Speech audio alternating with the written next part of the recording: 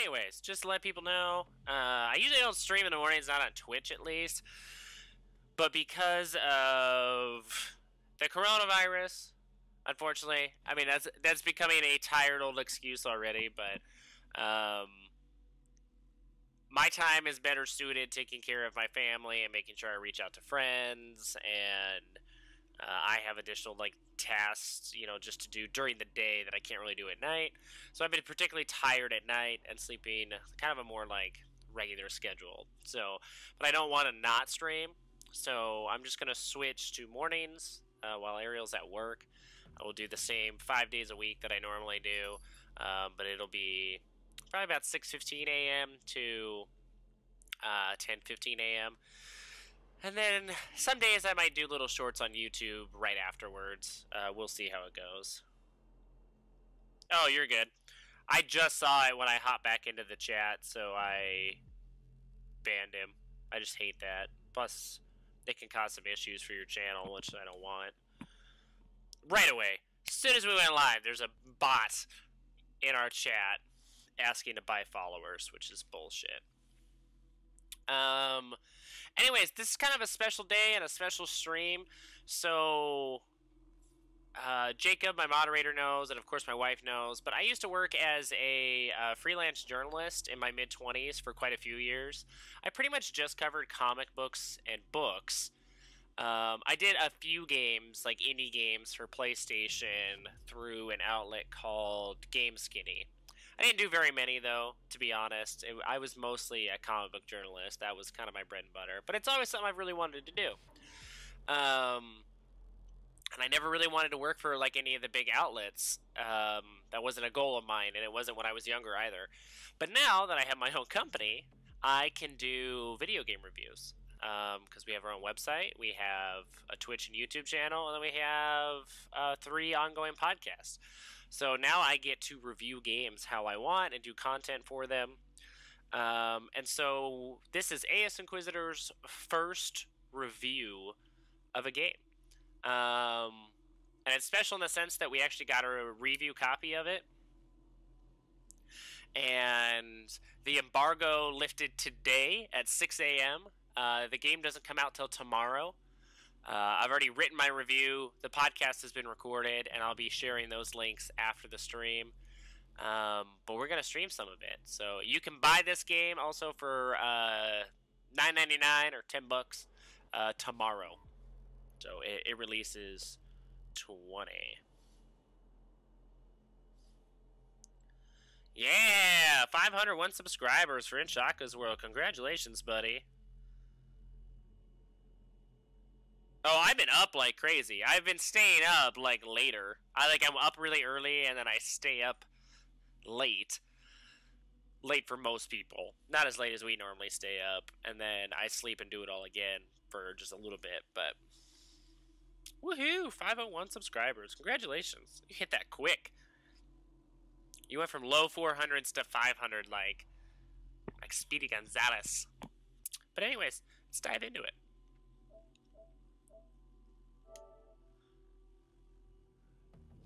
A little bit.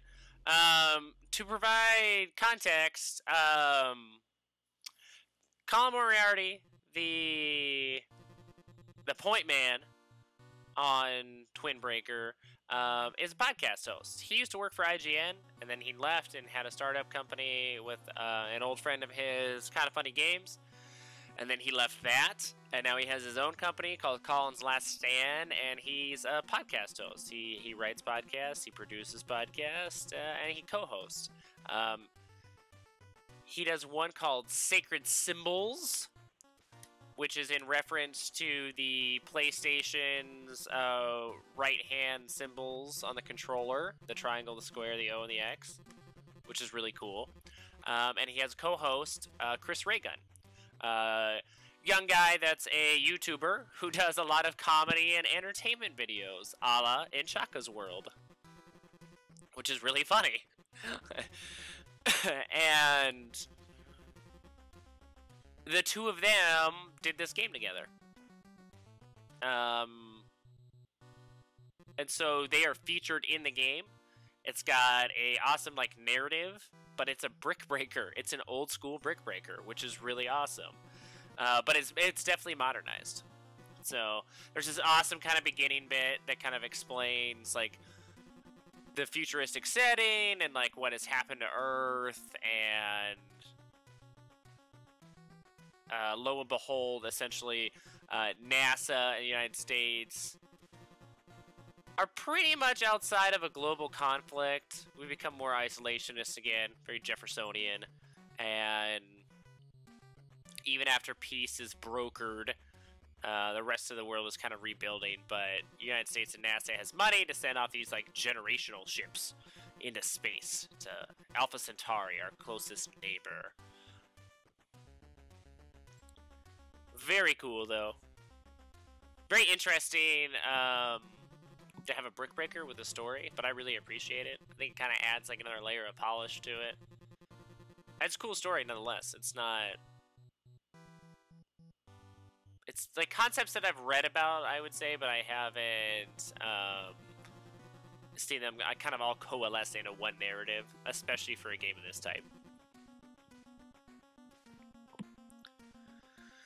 Uh, so your live streams will now be held 3:34 due to viewers and the coronavirus. We want to get that out there. Fair enough.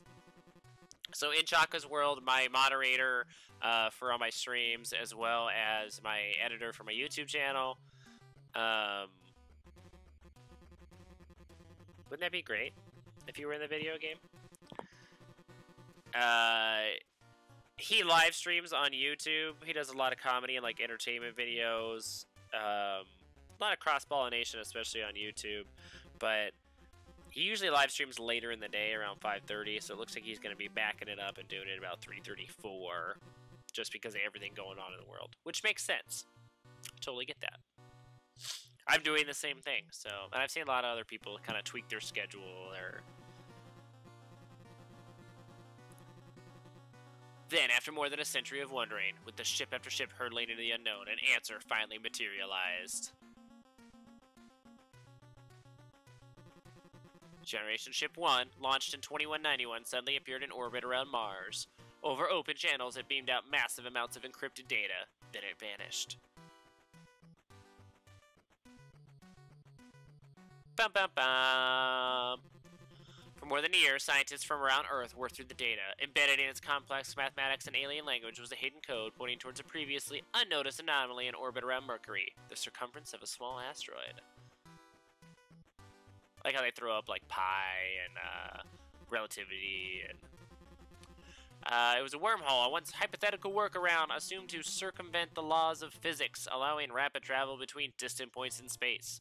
No one knew where this wormhole might lead, or if it was even safe to traverse. NASA scrambled to concoct small ships, each piloted by a single person. These ships would be charged with jumping through the wormhole to investigate before returning to Mercury.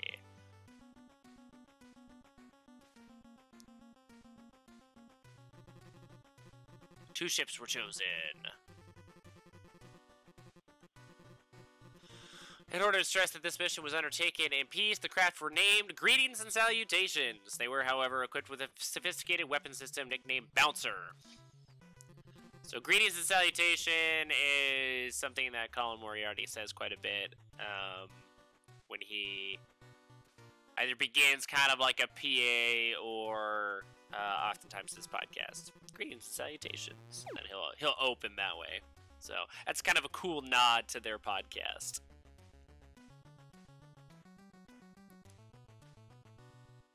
Okay, so that's kind of like the intro. Uh, obviously, very heavy with like uh, pixel art and like chip tune music, which I personally appreciate. I think is awesome. Uh, we'll just start off with level one in New Game Plus. There's this awesome dialogue too that fleshes out the story. Did you make it through? Yeah, I'm good. Greetings and salutations to Earth. We're on the other side. Over. Static. Earth, we are through. Over. Static. figures. Our comms won't make it back into the wormhole. Where are we anyway? Trying to get a read on the stars, see if we can triangulate our position. I'm picking up loads of debris on the scanner. Metallic. Could be meteoroids. Could be. Could be. The spectral signatures of the debris seem to be awfully consistent. Carbon, silicon, titanium. The debris structure is quite organized, too. I don't like this. Launch the bouncer and keep a tight formation. Launching the bouncer now. Yeah, it's definitely rooted in a, a lot of old games. So, the first Brick Breaker was actually Breakout in 1976 on the Atari. Um, and it itself was kind of a subgenre of Pong, which had come out like four years earlier, which everybody knows. Um, much, much later, there was an actual game called Brick Breaker that a lot of people know of. Um, but they are essentially just breakout clones. So that's kind of the evolution of the genre. Uh, where it came from, what was the first game, what what console it was on, things like that. And Ariel and I actually just did a uh, 64 Bits of Rage podcast, whoops, where we talked about um, console generation. So we started from the very first generation.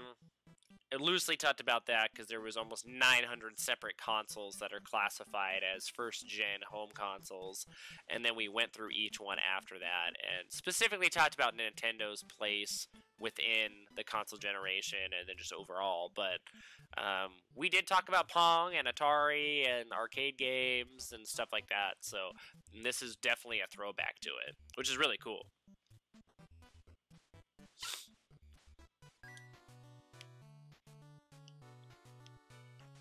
I will do a few levels here, but I will also show where it gets really complicated. Because it doesn't just do this for, you know, 40 levels. It adds a lot of stuff to it. To kind of modernize the Brick Breaker. So besides having really well polished, like, chip tunes... Oops. And I missed the times two. Um... They modernized the game mechanics as well and a narrative. Obviously, a narrative is kind of unique to a Brick Breaker, which is really cool.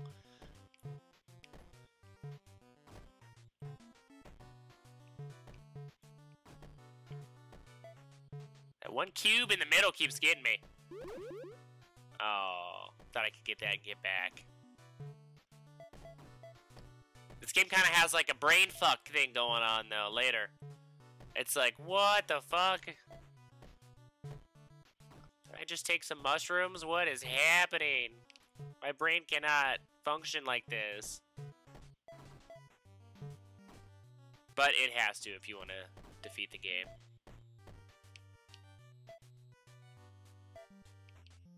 Boop! Just slowly booping. You can also reflect. I haven't done that yet, but by doing that, kind of direct the ball where you want it to go, then it recharges. Each panel can do it separately too, or each paddle. I'm a lot better at this than when I played through it so I could do the written review. Not gonna lie.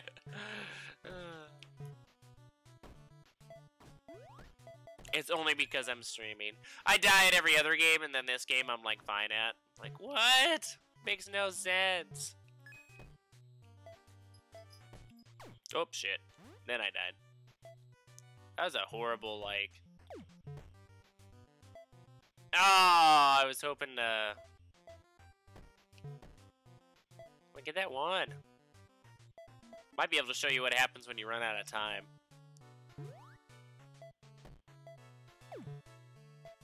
I just sent it back to the same place. No! Oh god, I'm like stuffed up. That was gross. Got the corona! No, I don't. I got a cold though from working out in the yard so much on top of all this crazy shit. There we go.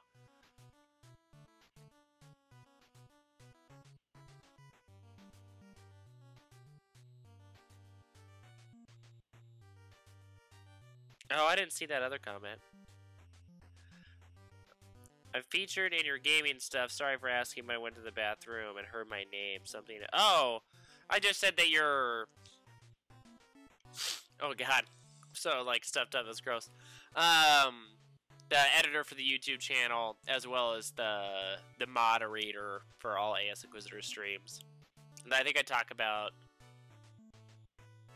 how we feature each other's work on our YouTube channel or something along those lines.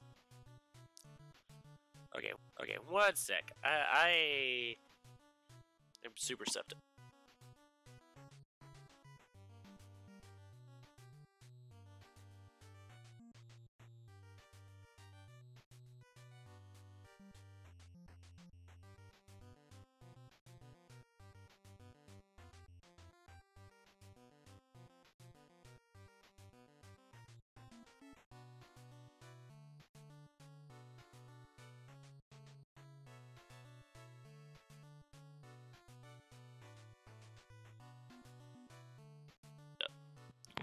that was gross. It was like a frog noise. And then phlegm came out of my throat. That was exciting.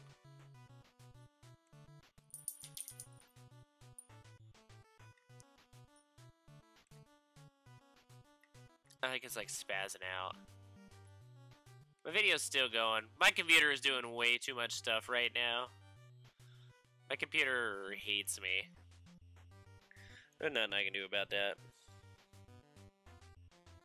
Oh, uh, Colin Moriarty's uh, co-host for Sacred Symbols is Chris Ray Gun, and he's um, he's a young guy, but he's a YouTuber, and he does a lot of comedy or entertainment YouTube videos, and he has his own comedy podcast as well. I just find it really funny that like Colin does all the video game review stuff, or he used to, but now he just does like video game podcasting and content that way, and obviously made his own game on top of it. And then his partner does comedy and entertainment videos and like satire, which is what you do. So I was like, that's hilarious. It's like that's that's a similar dynamic.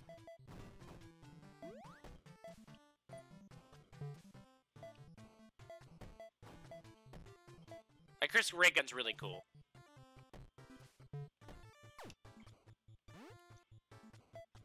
Yo, I wanted you to bounce like the right way.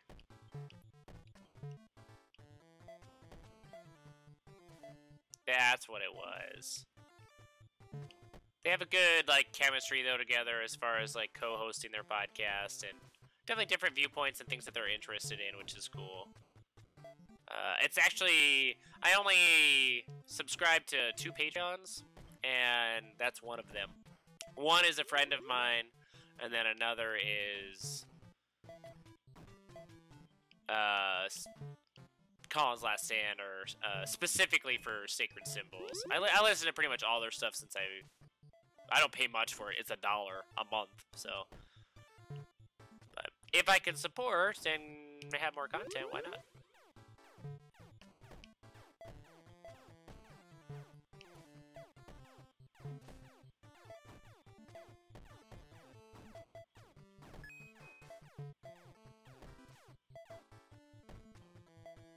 I like how I shot like all those blocks in the middle. Oh.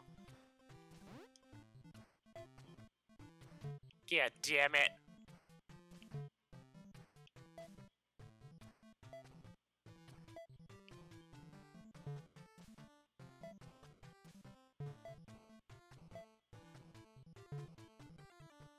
Come on, buddy. Come on. I got three. I got three blocks. Oh, two.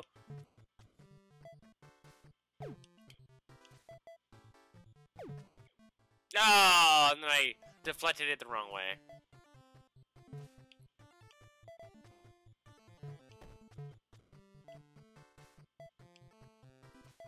Come on.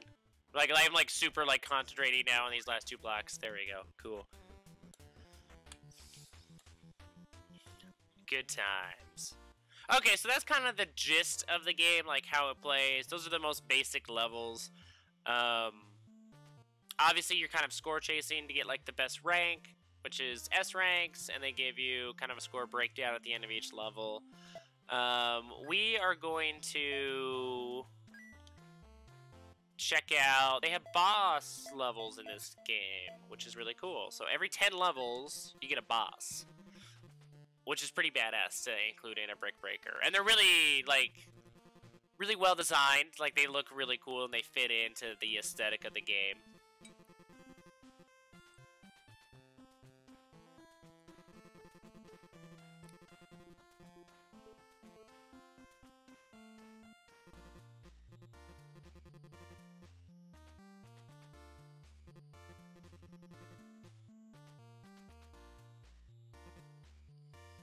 Nope. Oh, and Ariel came up with a rating system for um, our podcast or our company. So if when we review games again, uh, it'll be out of bear paws. Five bear paws. so we gave Twin Breakers a four and a half bear paws out of five. it only got shorted a half bear paw because even though I find games like this to be incredibly nostalgic and a great throwback to arcade and original home uh, console gaming, I don't think younger generations are going to feel that way and be as enamored with it. So I think accessibility wise, it's not as accessible as it could be. However, I wouldn't change personally anything about it. I think it's a great game and it's perfect in my book as far as for what it is. But I do have difficulties giving out perfect scores. I have some things that I would give a perfect score, but I do find them to be a little bit more universal than not. Get the boss! Get the boss! Oh, missed one ball. Missing balls!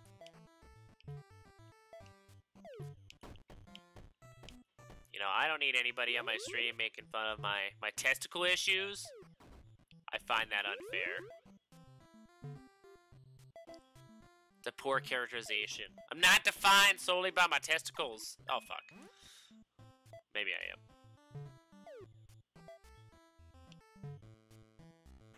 I got like one brick left. Gotta get the boss though. There we go, we got him. So the boss has a little like HP meter up top.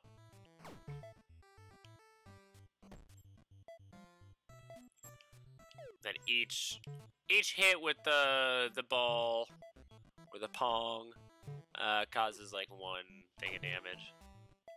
But I can't fucking get it over there. Oh, then I hit the one block on the entire screen. I mean, I guess it was, like, bound to happen. I don't think I got rid of all the bricks when I did this the first time.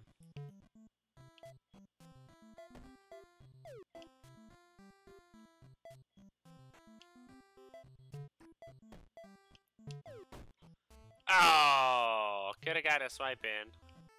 I could have just avoided the his attack. Yeah, we got him. Woo!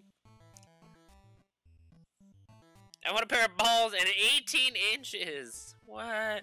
This game is super old school. That's what I love about it.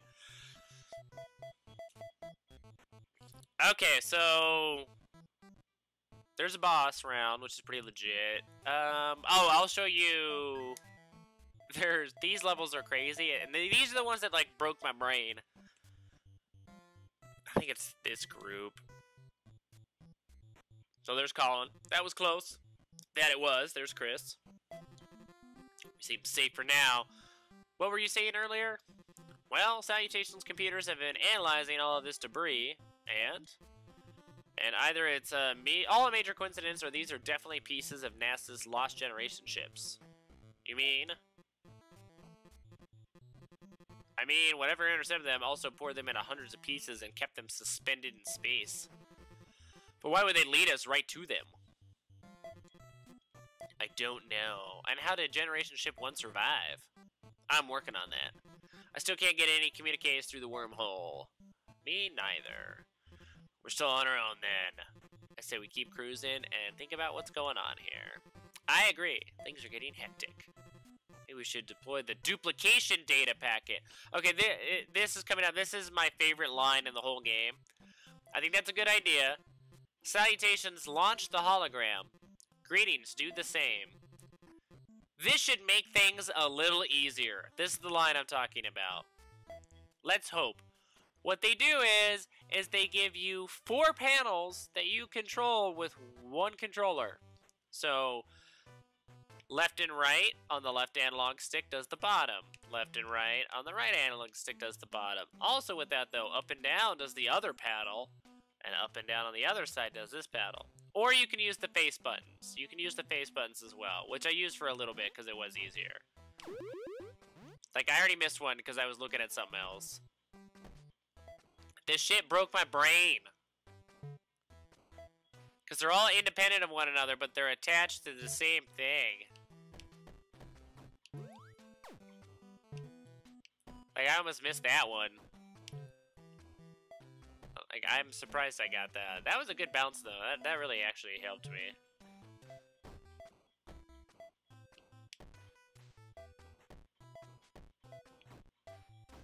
It broke my brain, yo.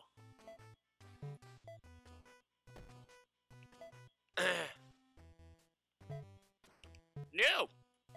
See, then the ball, of course, gets faster because it's a brick breaker. God damn it. You can't move which paddle the ball moves to, though which is kind of cool. There's, I didn't realize how many sexual innuendos there was with a brick breaker. That's interesting. That's something I, I either learned about myself today or I learned about brick breakers. Either or. Useful information. Fuckity fuck.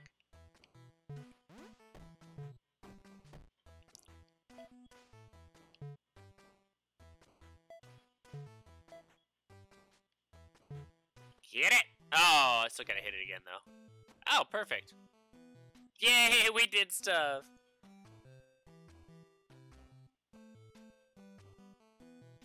That's what I mean. It blows your mind. I had uh, Ariel try out this level, where you, and she was like, "What the fuck? How do you do this?" I was like, "Yeah." I was like, I was finishing the game for review, and it fucking just dicked me hard. I was like, "What is happening? Where am I?" Um, okay, let's show off some of the different modes that it has. So besides the 40 levels that progressively get harder and change up the gameplay, as well as the intermix boss, along with the story, you get all these additional modes. Um, so there's marathon mode. Pretty self-explanatory. Um, you just run straight through uh, the levels without getting any more uh, health in between.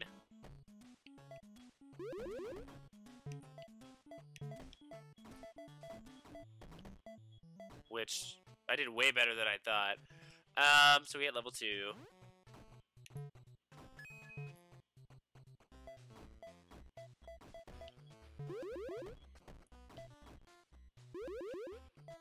Yeah, max health? I don't think I've ever got max health.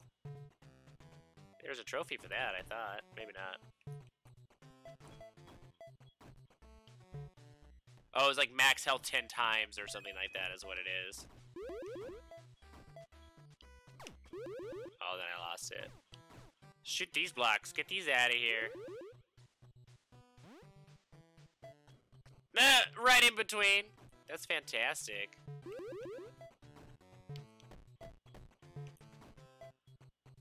I gotta say, I'm doing way better than when the other morning when I was finishing this up for review. I was like, even some of these basic levels, I was like, nope. Not today. My brain is not gonna function for a brick breaker.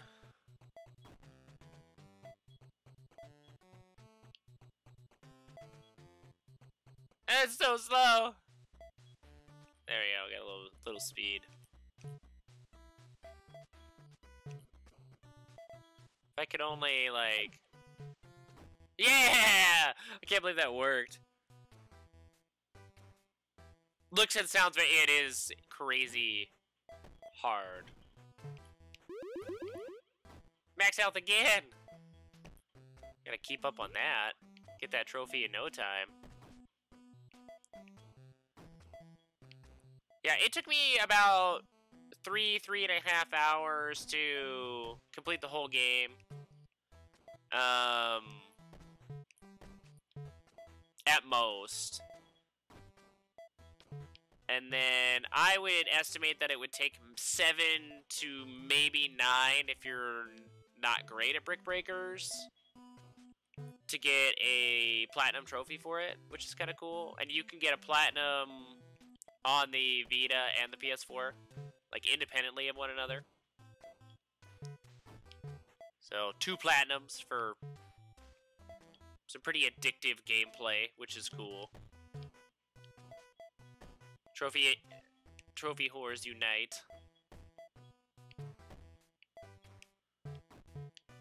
Yeah, I'm actually, I'm doing way better than I did the other day, I'm not gonna lie. Thank God I didn't record any of that footage.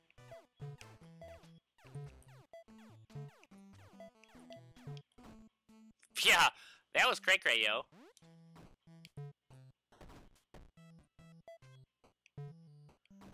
I couldn't even, like, keep track for, the, like, that fast. And if I got one of the, like, negative items that, you know, like, shrunk your paddle or something, like... I was, like, toast. I was like, I couldn't recover from it.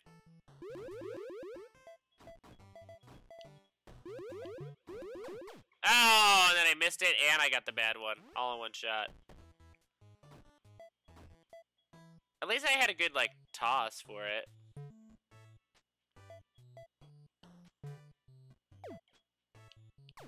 Oh, wow, that was a blatant miss. No, I only got one. It made me sad. It made me so sad. My inner child is crying. No! I biffed up the... Oh, oh! Oh! I, I always hate when there's like one brick. You just can't get it. You're just like pretty much waiting for the luck of the draw. Which I did. I did it all by myself.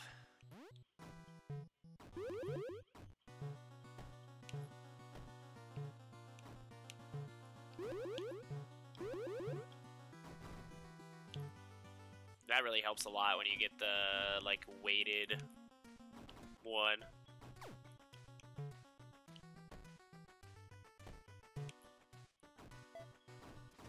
Just tears through shit. Oh, now we're back to normal, though. No! Oh, God, that was close. Oh, then I fucked it up. Oh, really fucked it up.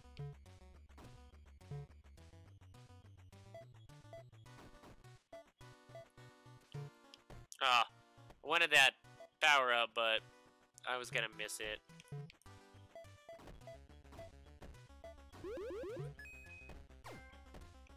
That's good. Yeah, I got another trophy. I really, I'm gonna get a platinum on this for sure.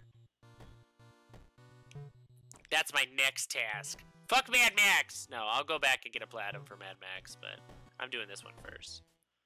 Okay, that's marathon mode. Pretty basic. Um, really nothing to kind of explain there. Like, you just marathon through all the levels with uh, just your set health. Uh, Pong mode!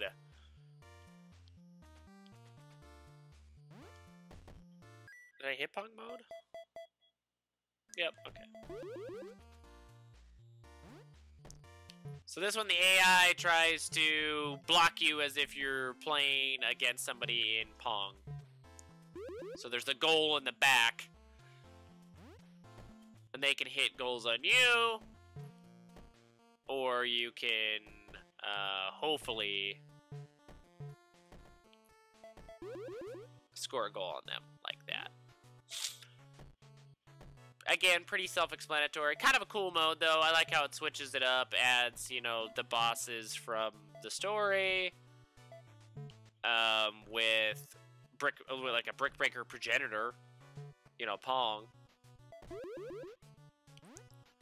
in a very kind of unique way. It fits the tone of the game, fits the story of the game, and uh, kind of adds to the overall package of what you can do. So if you want a more traditional experience, you can do this. Which I actually usually don't play like alternate modes in games, but I tried all of these out yesterday and I enjoyed pretty much every one of them for what it was. Like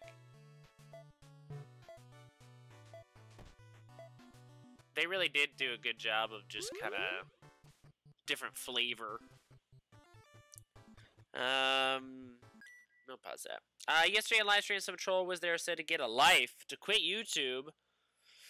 I'm bad at this seeing it. Didn't know how to put blocker ban. The guy was so mad, bro. Very frustrated when I got my stream. I banned. Oh, that sucks. I wish I had been there. I would have banned that asshole. Two seconds.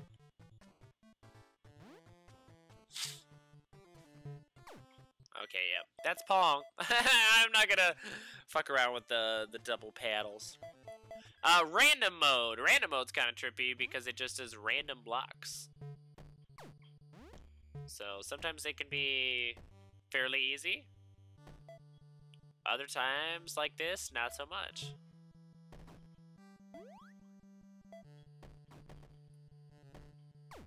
Oh, I wasn't even paying attention. There is another paddle that I can use. What are the odds? Shrink. Fuck! I'll retry random mode. Yeah, see now it's a different one. That was kind of a funny one though. Tear through it!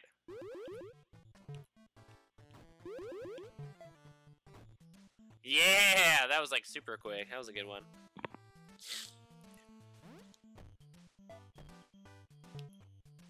Let's see if my video actually rendered. My computer kind of quieted down. Or it just bricked it. It's just like, fuck it. It has just perpetually said nine minutes. And then my stream is like, oh, share successful! Yay! That's so surprising. It honestly is. I'm not gonna lie. But it makes me happy nonetheless.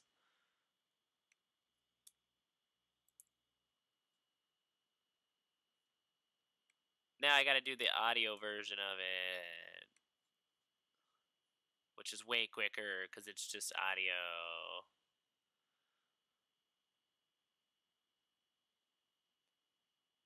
I how I'm like producing a podcast as we stream. It's kind of a special one though, anyways. I'm not going to go terribly long today because I have some other things to work on for Twin Breaker, but I did want to show it off since I have a chance to. Audio only.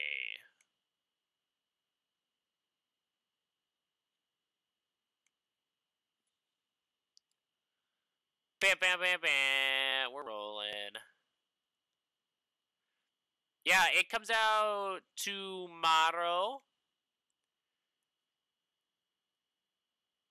Um, and it is ten dollars, and you can get it for the PS4 or the Vita. I would recommend, because like in your situation, I don't think you have either or. I would recommend getting a Vita. Um, they're not terribly expensive, and I think you would really enjoy the games on the Vita, and this game plays better on the Vita, in my opinion. Uh, I have an easier time with it because it's closer to your face, and then you have two joysticks on the Vita, um, and it was just a little eh, better to handle. And Colin Moriarty is a big proponent of the PlayStation Vita, like called Vita Vita Island, which I am. I have been a resident of Vita Island for a long time. Um, okay, so we tried out random mode. Let's go to shooter mode. This one's kind of cool. So one of the power-ups you could get is the ability for your paddle to shoot. This one, it just kind of drops bricks on you, almost, uh, almost a la like Space Invaders. And you gotta make sure that they, they don't hit the bottom. Pretty basic. They get more and more frequent though, take more and more shots. They'll flip over on their side to make them more difficult to shoot. I actually like this one. I find this mode to be super cathartic. It's like, you know what, I want to kill 10 minutes. Half hour. You could just have fun, racking up a score. I think a lot of games nowadays try so hard that they lose the game amongst their vision. And so the game is not as fun as it could be. I, one of the reasons I really enjoy this game is because it's just fun. It's not...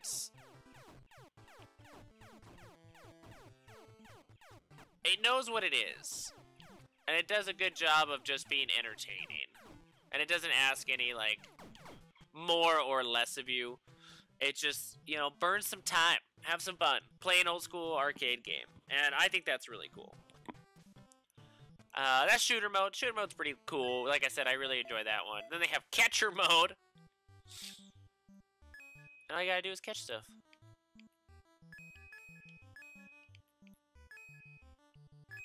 They fall like a little bit faster. And then the screen scrolls in this one, which really kind of fucks with me too. It's like some Mario-esque stuff right here. Some of them are static and, and unmoving.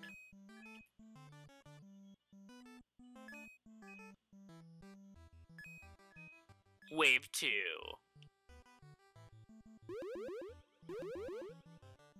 Oh, I didn't know you could get the power-ups. I don't think I made it this far last time, to be honest.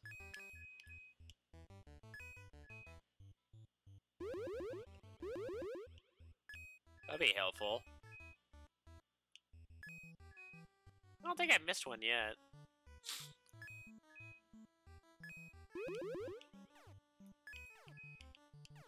Oh, there. No, I missed one there.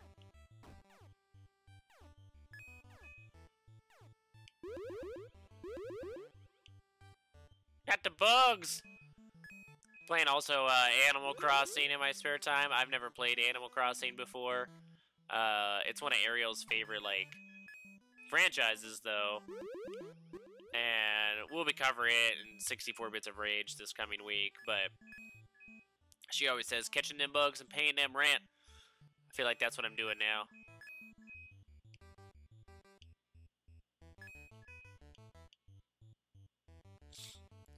Got the bugs! There's so many bugs! I'm doing a lot better on this one, too, than when I did the very first time.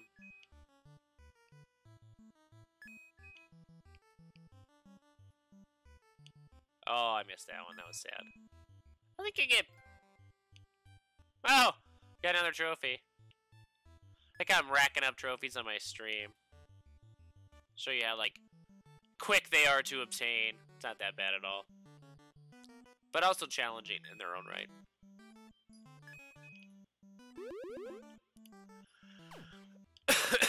Woo! Stick around. Oh, finally died. So that's catcher mode. Yeah, I think you'd really enjoy this one. Uh, and then there's boss rush mode. Which is exactly how it sounds. Uh, you just go through all the bosses. Which is cool too. Very old school mode in a game. Which you don't get very often anymore. Imagine a boss rush mode on uh, like Dark Souls or Bloodborne or Sekiro or something along those lines, that would be cool. People would eat that shit up, too.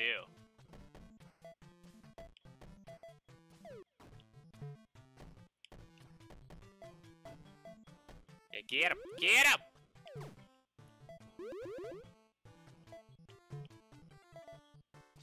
was surprised I kept even just one of the the pongs like going in the air.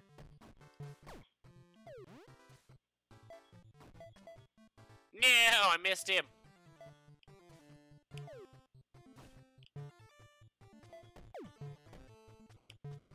I like how I snuck how I snuck in another shot though. Two fireballs.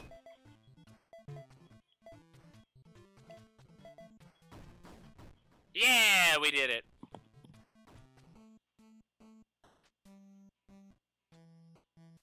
Yeah, that's fine. I'm like I said, I'm not gonna go very long today since it's kind of my first day back. Um, and I have some more Twin Breaker stuff to work on. Grrr, why are we growling? Okay, um, I am going to kind of wrap up. It's to be a short stream anyways. Uh, let's get the, the full screen mode kind of going here. Okay, there we go. So, Twin Breaker is definitely a brick breaker, as you saw. Um, for ten dollars, amazing deal. Uh, it's got what one, two, three, four, five, six modes, seven if you count the uh, story and just the level select. Uh, for ten bucks, all very different and unique. Um, it's got a great plot awesome audio with um, classic kind of chip tune inspired music, which I love. Uh, great pixel art, so awesome like aesthetic on top of it.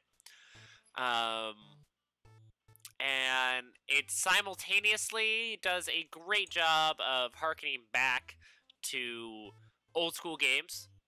Uh, you know, Asteroids, Space Invaders, Pac-Man, like, you know, maybe not the same genre, but definitely uh, kind of clustered together as far as like release, like very defining games. Um, and then it modernizes it on top of it, which is really cool. It's a really hard thing to kind of blend together to be able to take a really old subgenre of Pong and then make it for 2020 and then interweave just kind of new elements into it, have it at that ridiculous price point, and you're kind of you're appeasing a lot of different groups, except for I would say really young gamers who might not fancy something like this. But otherwise, you're getting like trophy hunters. You're getting people who like to play on handhelds with the Vita. You're getting console gamers. Um, you're getting throwbacks to like arcades and original home consoles.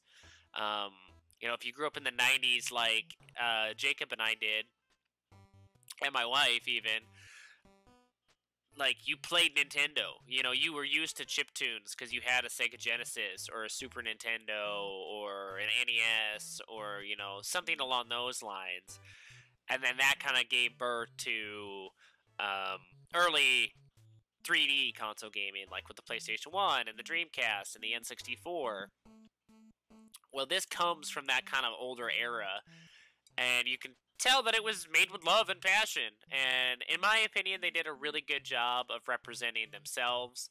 And I think the best way I put it yesterday when Ariel and I were recording our podcast for this um, was Colin Moriarty obviously made this for him and fans, not just himself or just fans. And you can see a bit of himself in it, which is really cool.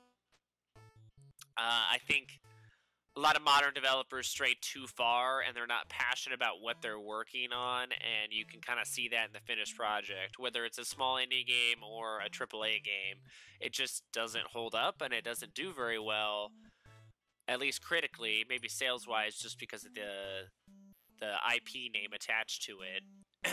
but you can see it, it lacks heart, I guess, or soul. This has a lot of character.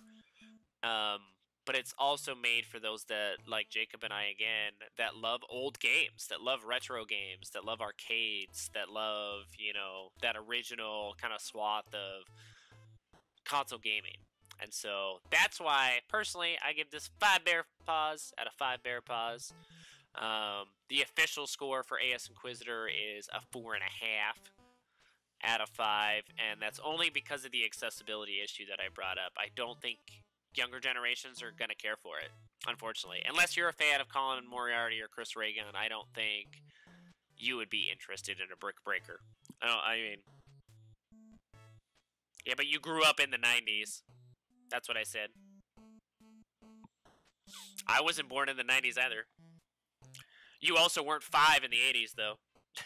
or 15 or whatever. you know what I mean. Your formative years were in the 90s. That's what makes you millennial, which you fucking hate, but I love saying it to you. That cracks me up. Because you would have been like 10 in the 90s. I would have been like 10 in the 90s. That's the point. You're not playing video games when you're 18 months old.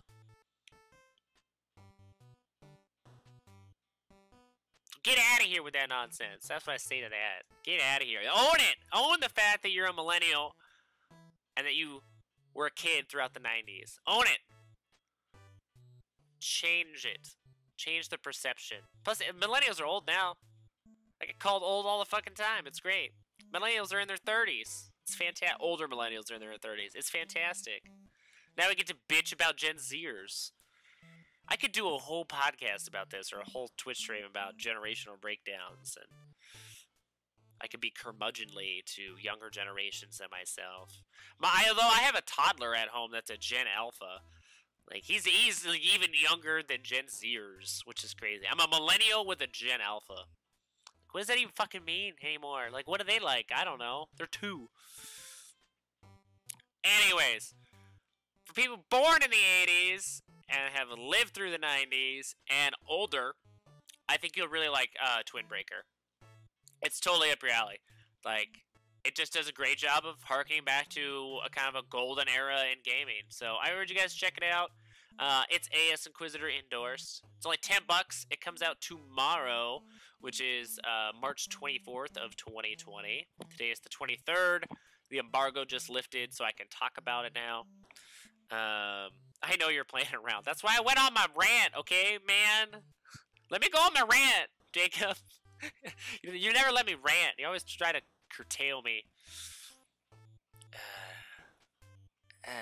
It's like um, Sideshow Bob from The Simpsons. Uh, um, yeah, but that's my recommendation. That's Twin Breaker. Uh, I will be producing this video for YouTube today. Um, so if you're watching this on YouTube, uh, check out Twin Breaker. You're watching this on Twitch, check out Twin Breaker. Uh, if you read my written review, check out Twin Breaker.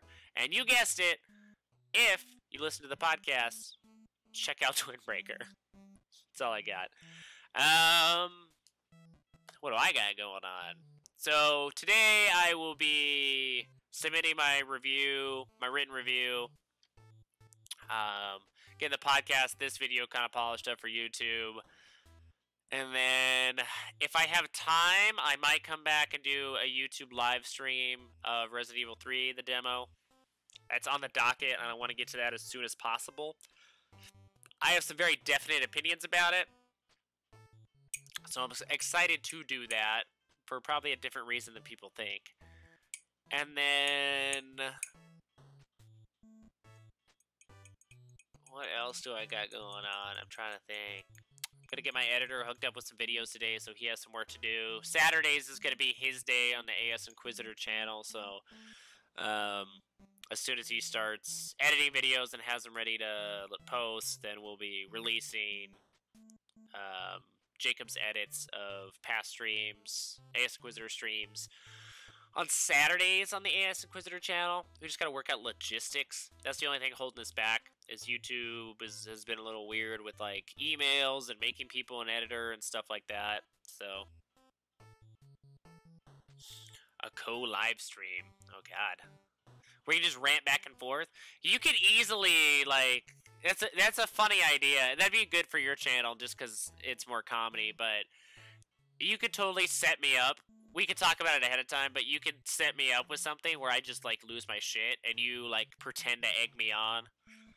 I just I like I I it seems like I'm getting really flustered and angry, but obviously I'm not. It's just for comedy's sake. Right? I can be like, "We grew up in the 90s." And you'd be like, "I was born in the 80s." I was like, "No, I know, but you weren't a kid." Like and you can we can just keep doing that. That'd be really funny. I think it'd be dope. Just do like a split screen live session or something.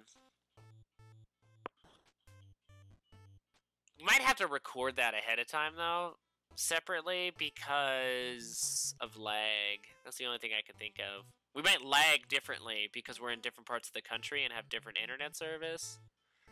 I don't know how that would work. I don't know. I'll look into it, or you can, or both of us. I don't care. Um, yeah. Anyways, that's what I got going on. Uh, for you guys that didn't catch it, uh, my name's Anthony Schultz. Uh, this is AS Inquisitor, or ASI for short. Uh, we got two weekly podcasts, Rage Quit and 64 Bits of Rage. Uh, they come out Wednesdays and Fridays, respectively. One's about PlayStation and generalized video gaming. The other is about Nintendo. Uh, I also have a long format monthly podcast called FGG, fucking great games. Uh, it's more nostalgic, pop culture kind of oriented. Comes out once a month. It's usually about three hours long. The newest episode of that is about to drop, and it's all about the Ys series. I had to solo that one. I didn't have my co-host John, but uh, I did it. I went like almost two hours, so hopefully it's not dry. But I went through every single Ys game, talked about them. That was kind of cool. Um, and then yeah, we post a ton of stuff on YouTube. Uh, unboxings, let's plays, uh, the there's a special edition of the podcast that goes on YouTube. Uh, my editor Jacob's gonna hopefully be cracking into some stuff we can get him set up today after he sleeps. And then his stuff will release every Saturday, and then I do two Let's Talks every week on YouTube. They're just a few minutes, and it's me ranting about stuff, uh, whether it's the channel or stuff at large. I think I ranted about people hoarding, like I think that was the last one. I'm pretty sure. Um, yeah, and then I stream on Twitch five days a week. So I'm flipping back and I'm doing it um, same days, but it'll be in the mornings instead of the evenings. So that's what we got. We will talk later. We always do. And we always do. Um, and then I will be back tomorrow to stream. I'm going to be doing some Doom Eternal. So we're gonna stream four hours from 6 a.m. to 10 a.m. Roughly six. I'll probably be a little late because I wake up at like 5:30. Um, of Doom Eternal, which is fucking badass and awesome, and you should check that out too. But anyways, have a good rest of the day, guys. Uh, be safe out there if you're watching this. Uh, use your head, use your noggin, and be respectful and nice to people and try your best to take care of your friends and your family and your loved ones, uh, even if you can't go to them physically because of everything going on. Um, reach out, talk to that grandma you haven't talked to in a long time. Um, you might regret not doing something like that. Uh, talk to that old high school friend that you haven't talked to in you know 15 years. Um, whoever it may be, or maybe you've fallen out of touch with them, just for sanity's sake for mental health as well as personal health, um, do that. And then while you're at it, like everybody already knows now, practice social distancing. If your state's not already locked down, like Jacob's, uh, be hygienic. Wash your hands. Use sanitizer. Be careful. If you are out and about, if you're in a state where you can, um, you know, go to the grocery store, go get gas or whatever, do it as infrequently as possible. And then if you buy something, make sure you leave stuff for other people. Don't don't wipe out a whole shelf so that the family behind you can't get milk for their kid or diapers for their kid, like or dog food for their dogs. Like other people have pets and kids. So be mindful. So that's kind of what it boils down. Be cautious. Use your noggin. Be mindful. Be respectful. Be kind. And always remember, follow the bear. I do. I look a lot like Gandalf. It's great. I gave like a public service announcement via AS Quisitor, and I looked like I just came out of the Shire. Like, I if if a Hobbit ran behind me, I don't think you would be surprised, and I don't think I would be surprised. Also, I have like I wear also. This is very Gandalfy. Like, shit ton of rings. I, I they all mean something, so that's why I wear them. Uh, I always have like a bracelet on, and then I got the crazy hair. I just need a cloak at this point and a staff. I, I should be Gandalf for Halloween because I could dye my hair gray. It's already going gray anyways. I'll consider it. And don't have sex. Uh, no. Did you see Toothless Beardo's um graphic on Twitter where it was the Corona Sutra? So your face could be always 1.5 meters away from your partner, which was fantastic. So it was like missionary was out, but doggy style was in. It was like stuff like that. If you haven't checked check that out. Check out our other moderator and good friend of the channel, uh, Toothless Beardo. He's on Twitch, YouTube, and Twitter, but he and Instagram, and he's super fucking funny. But he's been posting like Corona jokes, which obviously take it seriously, but it's kind of nice to have some levity. Okay, well, I'm signing off. Uh, have a good rest of the day, guys.